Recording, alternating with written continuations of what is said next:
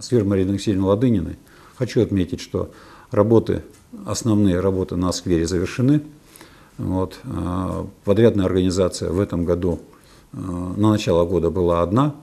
С ней контракт был расторгнут по соглашению сторон. Мы оплатили объемы работ, которые были фактически выполнены. Вот. Потом мы проводили дважды конкурсные процедуры, торги. Определен был победитель, который приступил к работе.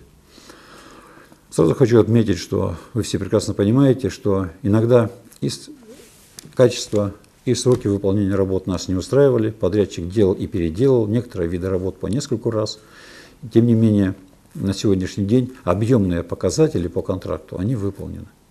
Есть вопросы в некоторой части, касаемые качества, но у нас есть гарантийные обязательства, которые подрядчик должен выполнять. Есть э, сумма э, в виде банковской гарантии, которая перечислена подрядчикам, представлена нам, там э, около 3 миллионов рублей, 2 700 с чем-то, вот, которая гарантирует выполнение принятых им на себя обязательств. Есть другие обязательства, которые возникли в связи с тем, что он нарушил благоустройство, которое было выполнено не им, а другой компанией по другому контракту. Я имею в виду компанию, которая выполняла благоустройство э, и озеленение. Вот. Это уже не в рамках гарантийных обязательств, а весной при э, вскрытии снега мы это все актируем, вызываем его, и он обязан это устранить. Он это знает, понимает и признает, что ему необходимо будет эти работы выполнить. Часть работ, которые он выполнил, мы сейчас понимаем, что весной он будет переделывать уже, потому что э, не в оптимальные сроки он их выполнял. И я надеюсь, не надеюсь, вернее, а думаю, что при наступлении положительных температур мы увидим огрехи на этих участках и потребуем их устранения. Он тоже это видит и понимает. Вот. Поэтому здесь э, ситуация такова. Наша муниципальная часть этого контракта э, была проплачена и вчера приехала в город. Если не видели, обратите внимание, там появился еще один объект на площади, на фундаменте, который был для этого летом изготовлен. Это павильон, кафешка, она есть, у меня есть фотографии, в каком она виде к нам приехала. То есть в этом отношении и муниципалитет свои обязательства выполнил. Первый раз встречались с подрядчиком, мы говорили о многом и о том, насколько это важно и значимо для города весь этот проект. А потом в сентябре месяце подрядчик пришел ко мне и сказал, Сергеевич, я встаю и ухожу просто с объекта, ну, чтобы вы понимали. Потому что уровень цен на те товары, которые в контракте заложены, они несопоставимы с теми ценами, которые на рынке уже. На металл, на древесину, на бетон и так далее, и так далее. Я скажу, даже вот те э, игровые вещи, вот барабаны, духовые, эти самые, делали в Подмосковье и оттуда отправляли. Я сам разговаривал с заводом-изготовителем, вот. Э, это было еще в июле, о сроках поставки. И тогда говорили уже, ребят, только ноябрь. До ноября у нас такие-то контракты, вот, мы вам ничего сделать не сможем. Это только ноябрь. Нужно было заказывать раньше. Поэтому вот это ситуация сегодняшнего дня. Но и стоимость этих э, игровых элементов, я как это не МАФ, это вот вещь, она была э, полтора-два раза выше, чем заложено в смете.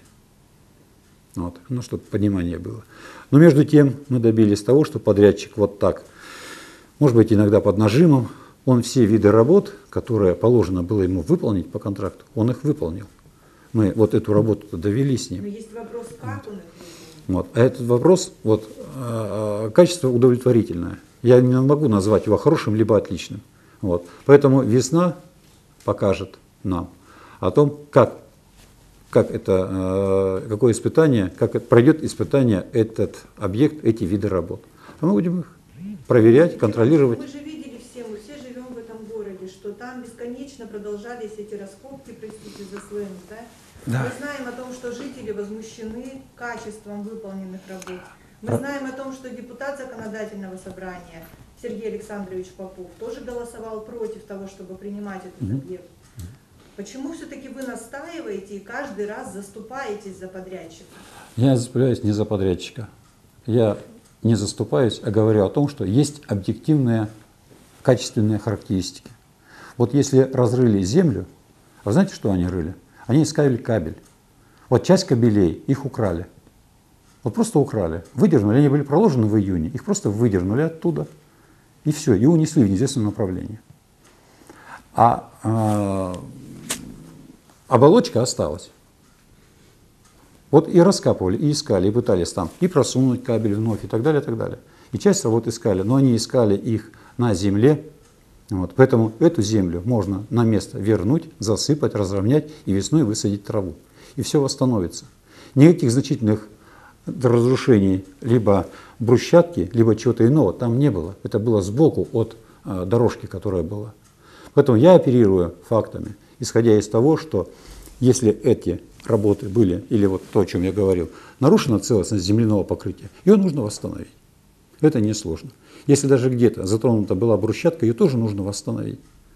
Если там не хватает объемных показателей чего-то, я имею в виду меньше на там, 50 квадратных метров чего-то сделано, я понимаю, это серьезно.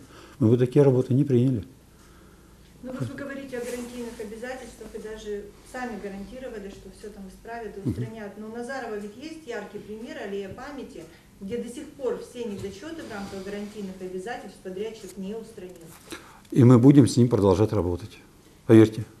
Они многое сделали, и многое еще им предстоит сделать, в моем понимании. И срок гарантии, на- поэтому не один год, а несколько лет. вы не ответили на мой вопрос до конца. Вы уверены в том, что подрядчик не испарится в 2022 году? Да, уверен. Давайте проверим с вами вместе, Алексей. Мы же здесь будем жить. Вот и Он-то посмотрим. Не будет здесь А? Он-то не будет здесь Я понимаю, ну, видимо, будет, если он чего-то не сделает. По крайней мере, он а, деньгами своими. То есть, ведь вопрос-то простой будет. Если мы выйдем вместе с вами и поймем, что что-то не так, мы даем ему срок на устранение, он не делает, мы нанимаем другую компанию и оплачиваем теми деньгами, которые у нас есть. Вот вопрос в чем. Банковской гарантии смысл. То есть мы-то вот в этом отношении подстрахованы вот этим, 2,7 миллиона рублей. Нам их хватит для того, чтобы, по крайней мере, вот то, о чем вы говорите, вот эти земляные работы, их завершить, их выполнить. Тем более, э, я так понимаю, что в том месте, где он рыл, это как раз не его был участок, там была работа по озеленению, выполнена другой подрядной организацией по другому контракту. Это не гарантийный случай. Это как раз возмещение ущерба, который причинен был его действиями.